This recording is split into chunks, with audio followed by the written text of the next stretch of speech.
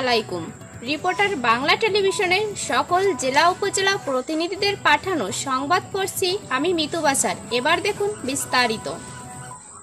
ভাওড়া union পরিষদ চত্বরে নির্মিত শহীদ মিনারের শুভ উদ্বোধন।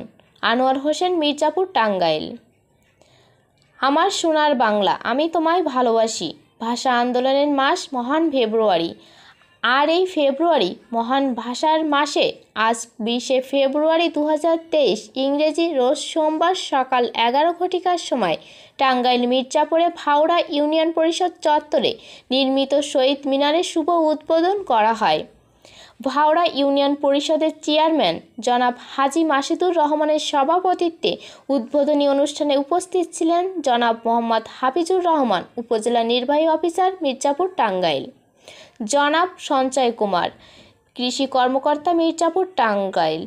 আর উপস্থিত ছিলেন ভাওড়া ইউনিয়ন পরিষদের প্রতিষ্ঠাতা সাবেক চেয়ারম্যান জনাব সাইদুর রহমান খান সাইদ, বীর মুক্তিযোদ্ধা গিয়াস উদ্দিন ইউনিয়ন কমান্ডার মোহাম্মদ মেহেদি হাসান মালিক, সাংগঠনিক সম্পাদক ভাওড়া ইউনিয়ন আওয়ামী লীগ।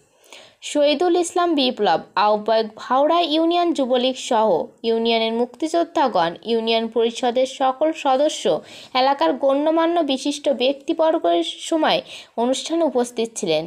উপজেলা নির্বাহী অফিসার জনাব হাফিজুর রহমানের বক্তব্যে শহীদ মিনারের তাৎপর্য তুলে ধরেন এবং সুন্দর সুষ্ঠুভাবে ভাওড়া ইউনিয়ন পরিষদ পরিচালনা করার জন্য ইউনিয়ন পরিষদের চেয়ারম্যান জনাব হাজি মোহাম্মদ মাসুদুর রহমানকে ধন্যবাদ জ্ঞাপন করেন।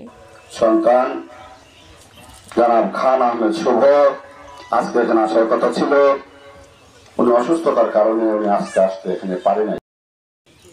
শহীদ মিনারের আজকে যে উদ্বোধন এই ভাওড়া ইউনিয়ন কর্তৃক আয়োজিত এই উদ্বোধনী অনুষ্ঠানে উপস্থিত সম্মানিত সভাপতি। নির্বাচিত এমপি উনি কোনো অনুষ্ঠান বাদ দেন না কারণ জনগণের সাথে উনি মিশতে চান।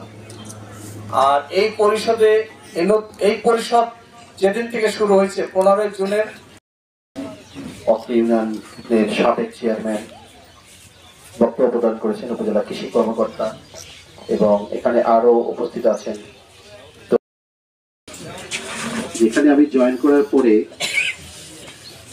দেখলাম যে মির্জাপুরে তো তখন থেকেই এই বিষয়টি আমার মাথায় আসে।